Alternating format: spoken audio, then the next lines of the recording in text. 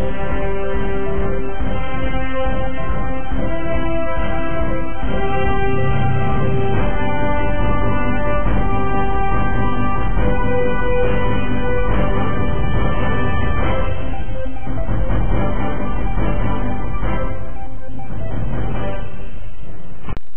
在世博园里啊，有很多的场馆都有对未来生活的畅想，但是有一个场馆，它把这个未来呢，仅仅规划在了十年以后。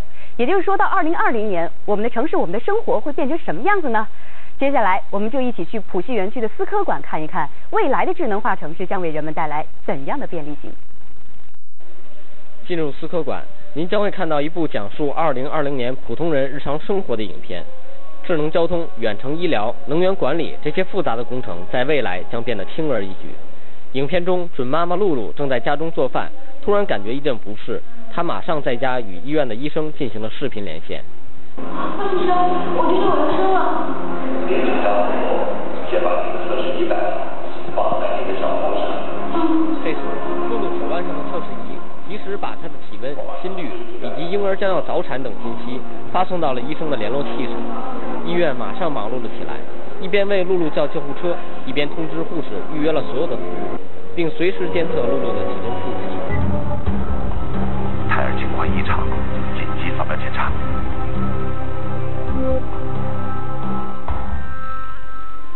脐带掉出来了，立即接通陈医生的紧急网诊电话，要快。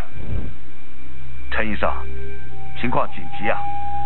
扫描显示需要实施紧急剖腹产。我同意剖腹产，顺产太危险。最后，露露顺利的生下了一名宝宝，全家人通过视频电话第一时间看到了宝宝的样子。实际上，这部电影中的高科技产品已经有一些研发了出来。在影片当中戴在手腕上的这个医疗测试仪呢，还是一个未来的概念。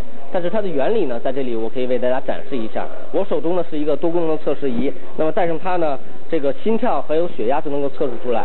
那么在这个居家的环境当中呢，我只要通过智能互联技术，就可以把这些信息反馈到医生那里去。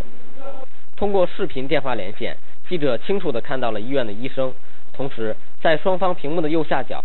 刚才测试的数据也通过蓝牙传输同步显示了出来。按照思科的设想，在十年以后，网络将成为整个城市运行的基本设施。每个电子产品都会借助网络的翅膀来实现人与物、物与物之间的连接。比如这张 X 光片，不论是通过电脑还是手机，都能把高精度的图像传送到其他地方。再比如，影片中出现的因为车祸导致的交通拥堵。未来通过智能车载 GPS，可以随时接收到最新的交通数据，自动更改最佳行车路线。Today, that's technology. 许多技术在2020年都会实现的，比如那个戴在手腕上的测试仪，未来会越变越小，可能到那个时候戴在手腕上的就是一个手链了。洛伊德告诉记者，要实现这一切，还需要两个前提，一个是足够大的网络传输带宽。一个是连接各种电子设备的软件平台。十年以后，人类能否过上这种智能的生活呢？让我们共同期待。